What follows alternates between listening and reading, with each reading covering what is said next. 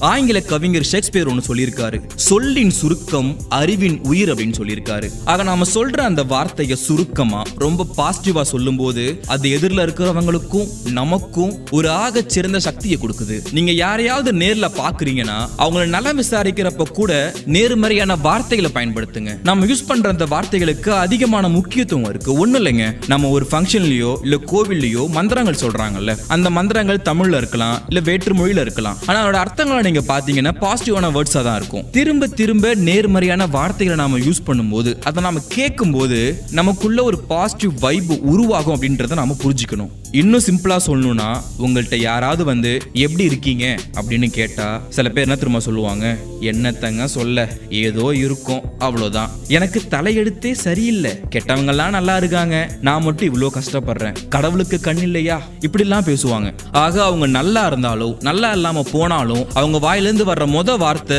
நெகட்டிவான வேர்ட்ஸாக தான் இருக்கும். ரொம்ப நல்லா இருக்கம்பான்னு சொல்கிற மனிதர்களை பார்க்குறதே ரொம்ப அபூர்வமாக தான் இருக்குது ஆக யாராவது உங்கள்கிட்ட நல்லா இருக்கீங்களான்னு கேட்டால் ரொம்ப சந்தோஷமாக இருக்கேன் நிம்மதியாக இருக்கேன் ஆரோக்கியமாக இருக்கேன் அப்படின்னு நீங்கள் அப்படி இல்லைனா கூட அப்படி சொல்லி பழகுங்க. உங்களை நீங்களே பாசிட்டிவ் வைபோட வச்சுக்கும் போது நேர்மறை வார்த்தைகளால் உங்களை நீங்களே உருவாக்கும் பொழுது அப்படி தான் இருப்பீங்க. ஏன்னா நம்ம சொல்கிற அந்த வார்த்தைகள் வாயிலேருந்து மட்டும் வரல ஆழ் மனசுலேருந்து வருது. அப்போ ஆழ் மனசுலேயே உங்களை நீ நீங்களே நெகட்டிவா காமிச்சுக்கும் போது நீங்க கடைசி வரைக்கும் அப்படியே தான் இருப்பீங்க. அதுக்கு பதிலா இப்படி சொல்லும்போது உங்களுக்குள்ள ஒரு சக்தி உருவாகும். நாம அடிக்கடி பயன்படுத்துற ஒரு வார்த்தைய ஒரு லட்சம் தடவைக்கு மேல சொல்றோம் அப்படின்னா அந்த வார்த்தைக்கு ஒரு சக்தி இருக்கும் அப்படின்றத நீங்க மறந்துடாதீங்க. நமக்கு உடம்பு சரியாம இருக்கும்போது நான் சரியாயிருவனா செத்துருவனா இப்படியே இருந்துருவனா அப்படின்னு நெகட்டிவா பேசாம உங்களுக்குள்ள நீங்களே நான் சரியாயிடுவேன் ஆரோக்கியமா திரும்ப வந்துருவேன் நான் சரியாயிடுவேன் ஆரோக்கியமா திரும்ப வந்துருவேன் அப்படின்னு உங்களை நீங்களே சொல்லிக்கும் போது அது உங்களுக்குள்ள ஒரு சக்தியை உருவாக்குது ஒரு தன்னம்பிக்கையை உருவாக்குது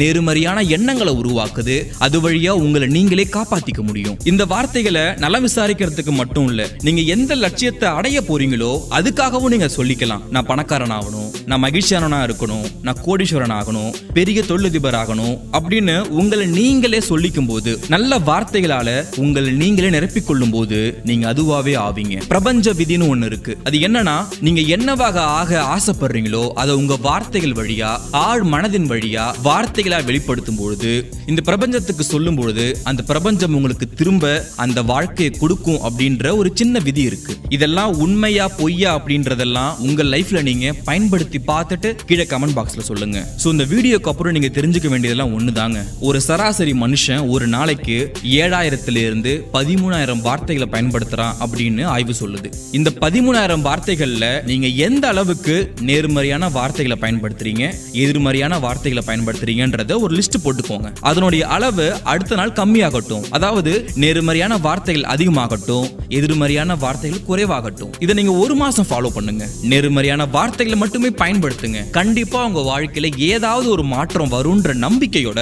இந்த வீடியோ நாங்க முடிக்கிறோம். இதை நீங்க ட்ரை பண்ணி பார்த்து அது எப்படி இருக்குன்றத கீழே கமெண்ட் பாக்ஸ்ல சொல்லுங்க. கடைசியா ஒரு தத்துவத்தை போட்டு முடிக்கிறேன். எழுத்துக்களின் தொகுப்பு வார்த்தை வார்த்தைகளின் தொகுப்பு வாழ்க்கை வார்த்தை வார்த்தைகளின் வரம்பு மீறினால் வாழ்க்கை சாபம். வார்த்தைகளை கட்டுப்படுத்தினால்